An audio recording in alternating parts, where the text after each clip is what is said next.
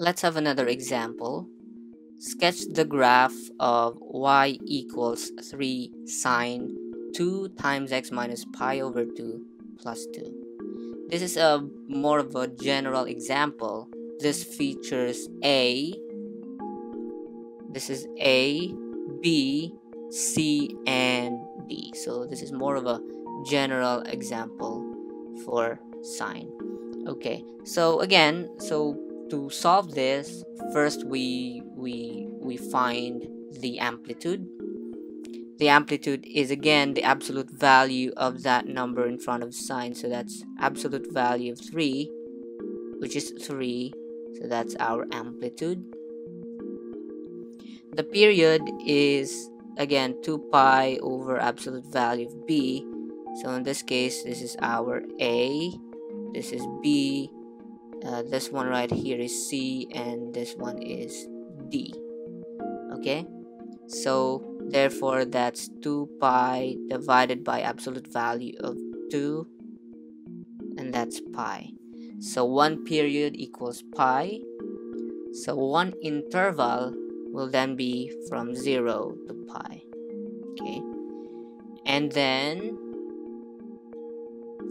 we can then divide that interval into four equal parts. So that's going to be so this is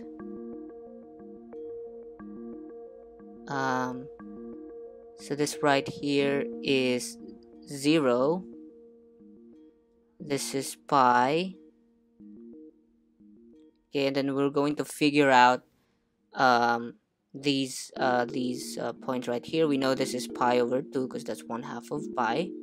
And then 1 half of pi over 2 is pi over 4 so that's pi over 4 right there. And then um, what's the average of pi over 2 and pi? So let's solve that. Pi over 2 plus pi. Pi is 2 pi over 2 that gives us 3 pi over 2 then we divide that by 2 that's gonna give us 3 pi over 4 so now we're done with our um, four equal parts okay?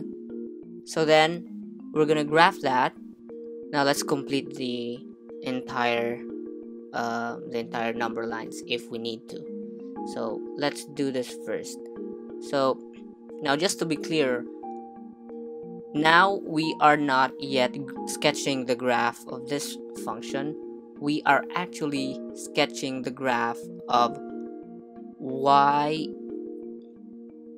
y equals 3 sine 2x okay? So for now we are sketching the graph of 3 sine 2x and the reason for that is these parameters negative pi over 2 and positive 2 these parameters are translation parameters, meaning they are just going to relocate the graph. Okay, so these parameters will relocate the graph.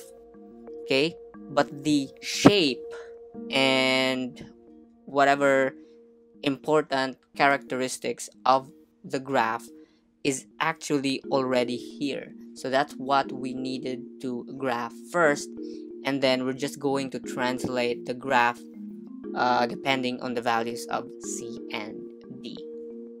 Okay, so let's sketch the graph of y equals 3 sine 2x. Again, let's start at 0 because that's where sine actually starts.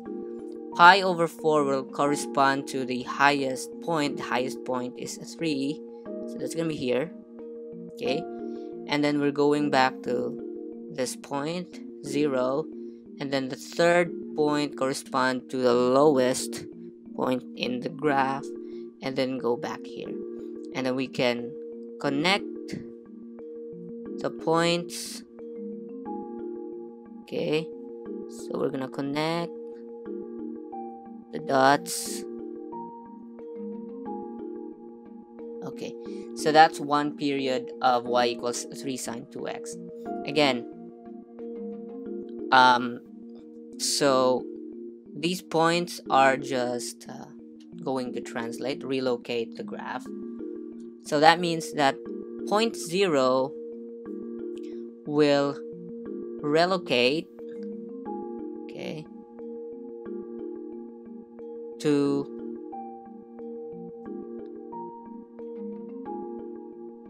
that's our c right? C uh, is pi over 2 that means we're going to move pi over 2 units to the right. So therefore this point right here goes here okay? Make sure you can see that. So this point right here goes to this point. That's pi over 2 units to the right. But then this positive 2 means that from here you're gonna move 2 units up okay? So ultimately the point this point goes here okay? Gets translated there. Um, and then of course this point right here gonna move pi over 2 units to the right and then 2 units up so that point moves here. And then this point again pi over 2 units to the right and then 2 units up okay? So that's what these two parameters do and then this one same thing. Move pi over 2 units 2 points up. This one pi over 2 units and then 2 points up. Okay so our final location um, for the points are this one this this this this this. And well again just connect the dots so that's going to give us this graph. Okay? This is the graph of y equals sine 2 x minus pi over 2 plus 2 okay? So again to recap find the amplitude it's going to give you the height of the wave. Find the period and then make a an interval from 0 to 1 period so that's 0 to pi. Divide the interval into four equal parts so that gives us this um, these values. And then you plot those points right onto the graph. But then again just to remind you this graph in green just corresponds to the graph of 3 sine 2x okay these points or these values pi over 2 and positive 2 will just move the graph to a different location so pi over 2 means 2 units to the right. And then positive 2 means 2 units up. So that moves here. This point moves there. Um, what else? Uh, this point moves here. This point moves here. And then this point moves there. And then, and then just connect the dots again.